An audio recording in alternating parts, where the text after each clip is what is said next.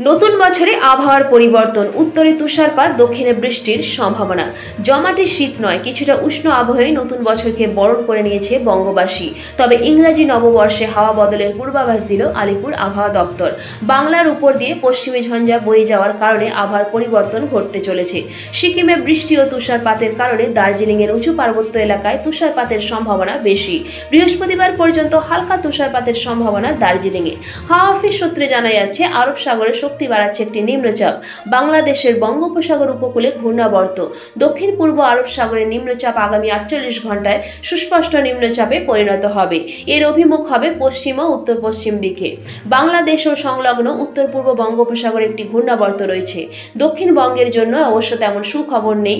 নতুন বছরের প্রথম সপ্তাহে বৃষ্টির সম্ভাবনা দক্ষিণবঙ্গে পশ্চিমের জেলাগুলিতে বৃহস্পতিবার ও শুক্রবার হালকা বৃষ্টি হতে পারে। ঘন কুয়াশার দাপট পশ্চিমের জেলাগুলিতে।